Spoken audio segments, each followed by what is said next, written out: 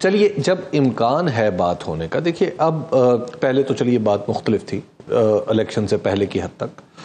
अब तो आपके पास, आप लोग, आप बजाते खुद, मुंतखब लोग हैं असम्बली का हिस्सा है। इस असम्बली में आप आगे बढ़ने का कोई रास्ता कहीं, ऐसा नहीं लगता कि पाकिस्तान तहरीक इंसाफ कहीं कुछ लो और दो के उसूल पे काम करे, कहीं गिव एंड टेक हो कहीं कुछ आप मान जाए कहीं किसी दूसरे को मनवा लें। ऐसा लगता है कि आप कहीं एडमेंट हैं किसी एक पॉइंट पे किसी एक नुक्ते पे। किसी हद तक आपकी बात शायद सही हो लेकिन हमारे पास दूसरा रास्ता भी नहीं है। देखिए अच्छा। हम गिव एंड टेक का रास्ता आप लेने से अवॉइड कर रहे हैं या आपके पास कुछ गिव या टेक के लिए कुछ नहीं है? देखिए गिव के लिए तो सब कुछ है क्यों नहीं है? हम्म। दो तहाई अक्सरियत जो जमात ले जाती है जिसके पीछे कौम खड़ी है। हम्म। उसके पास तो सब कुछ होता है। जिसके पास कौम है उसके साथ अल्लाह है। जिसके साथ अल्लाह है उसके साथ सब कुछ है। लेकिन अली मोहम्मद खान साहब अभी तो आप कह रहे थे कि सियासतदान तो रास्ते निकाल लेता है। फिर आप कैसे कह रहे हैं कि आपके पास तो कोई दूसरा रास्ता ही नहीं ये बात पूरी कर लूँ। जी। मैं मैं ये बात पूरी कर लूँ कि जो कौम ने हमें आठ फरवरी को मैंडेट दिया किसी की तो थी। बल्ला जब हमसे ले लिया लीडर को जेल में डाल दिया हम जैसे लोग we could not move out सिर्फ़ पंद्रह दिन मैंने कंपेन की है। बहुत से हमारे मेन लोगों ने तो कंपेन एक दिन भी नहीं की। नहीं कर सके ना मजबूरी थी। ये जो कौम निकली है क्या इनकलाब सिर्फ़ खूनी होता है? अल्लाह ना करे मेरे पाक सरजमीन में कभी खूनी इनकलाब आए। आमीन। ये एक पुरमन इनकलाब था। लोगों की गाड़ियों में बैठ के ऐसे मैं आपको बताऊँ कि लोगों के कैंप्स में बैठ के उनका मैं आपको एक नाम मैं नहीं बता सकता। एक जमात का बाकायदा पोलिंग एजेंट अंदर बैठ के हमारी कैंडिडेट के पास आके कान में कहता है कि वोट आपको दिया इस तरह का इनकलाब। अब इस वोट का हम पे कर्ज है। जिस तरह हमारे लीडर का हम लोगों पे कर्ज है। वो अंदर है हमने उसकी फाइट लड़नी। उस वोट का तकाजा यह है कि हम मुल्क को चलाने के लिए तो ज़रूर बात करें। हम्म। लेकिन जहाँ उस मैंडेट से दगा होगी कौम हमें माफ़ नहीं करेगी। और हुकूमतें आती जाती रहती हैं। देखिए मैंने कल भी शायद मीर साहब के या आसमा बीबी के शिराजी साहबा के प्रोग्राम में बात की थी। आपके प्रोग्राम में उस नुक्ते को आगे बढ़ाता हूँ कि सब कुछ मिल गया हम्म। मरियम नवाज़ शरीफ साहिबा को। देखिए शहबाज साहब की बात मैं नहीं करता। हम्म। शहबाज साहब अपोजिशन में थे हमारे दौर में वो उस बयानी को लेके शहबाज साहब नहीं चले थे। साफ़ बात है आप जी। हम्म। वो चीज़ लेके चले थे मियाँ नवाज़ शरीफ साहब और मरियम बीबी। मरियम बीबी एक बयानिया लेके चली थी हमारे दौर में और बड़ा पॉपुलर बयानिया था वोट को इज़्ज़त दो। हाँ। आज गाड़ी है आज प्रोटोकॉल है आज सब कुछ है हटो बच्चों की सदाएँ हैं। हम्म। सब कुछ है। नहीं है तो बयानिया नहीं है नहीं है तो नज़रिया नहीं है। और बयानिए का ना होना किसी जमात के लिए ऐसा है जैसे आपकी टांगे ना हो। हुकूमत तो आज है कल नहीं है। आपकी पार्टी में भी तो अली मोहम्मद खान साहब इस वक्त दो तरह के बयानिए चल रहे हैं। आपके कुछ रहनुमा मुफाहमत की बात करते हैं, कुछ रहनुमा मजामत की बात करते हैं। ये भी थोड़ी सी एक कंफ्यूजन है, इसे भी क्लियर करें कि क्या वाकई दो बयानिए इस वक्त तरीके इंसाफ में चल रहे हैं। नहीं, दो बयानी नहीं है। देखें, अल्लाह ने इंसान को बड़ा खूबसूरत बनाया है और अशरफुल मखलूक़ात है। हमारे दो हाथ हैं। दोनों हाथों के अपने अपने काम।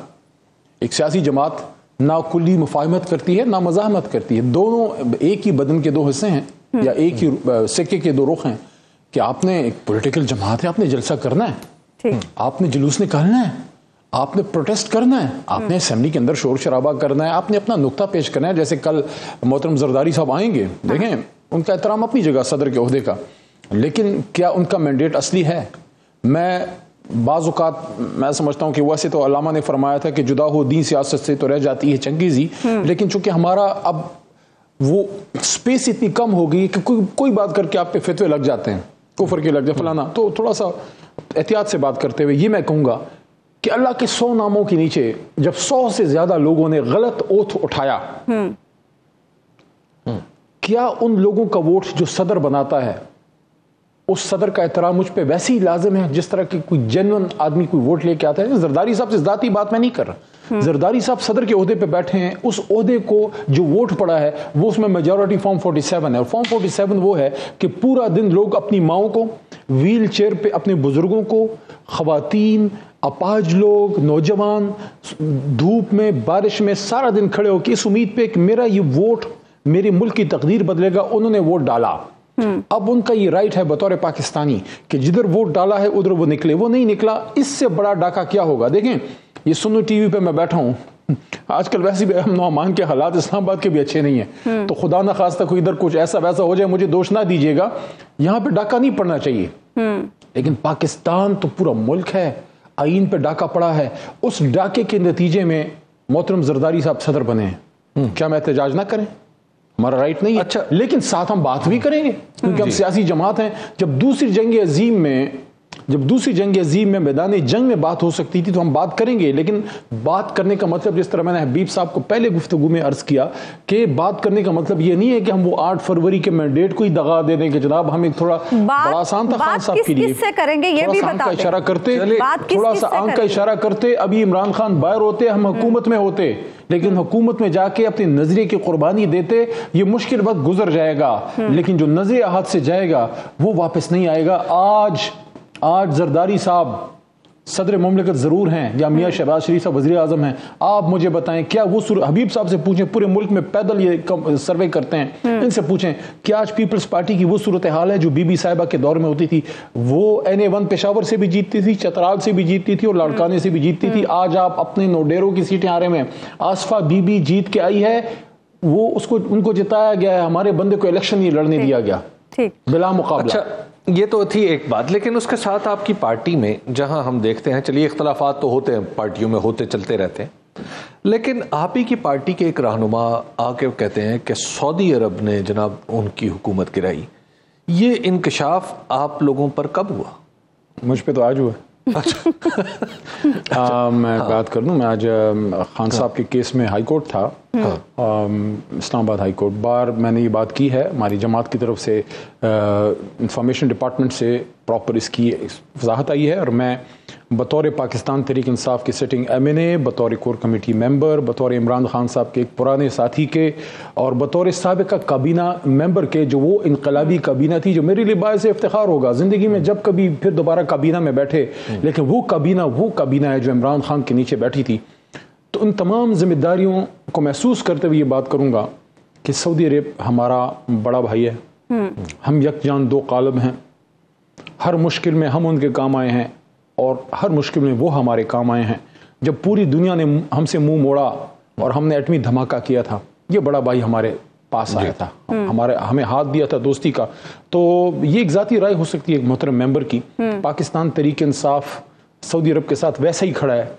जिस तरह होना चाहिए। खादम हरमैन शरीफैन है और मुझे एक। बात यहाँ तारीख याद आई, मुझे सिर्फ़ आधा मिनट दीजिएगा वो करते हुए। एम बी साहब जब तशरीफ़ लाए थे, मोहतरम वली हद जनाब मोहम्मद बिन सलमान साहब, खान साहब के खान के मेहमान थे, बड़े मोहतरम मेहमान थे। खान साहब ने बहुत एक, बहुत एहतराम व प्यार दिया उन्हें। और एक महफिल में बैठे थे तो मुझे गुफ्तु का मौका मिला। तो मैंने मोहतरम मोहम्मद बिन सलमान साहब को अर्ज़ किया, बहुत एहतराम के साथ कि आप ये ना समझिए कि आपका एक मुल्क सऊदी अरब है आपके दो मुल्क हैं। हम्म। ये 25 करोड़ आपकी एक एक्सटेंडेड फैमिली है। हम्म। और मैंने उनको ये अर्ज़ किया कि मोहतरम सदर वली अहद साहब अल्लाह सऊदी अरब पे मुश्किल ना लाए।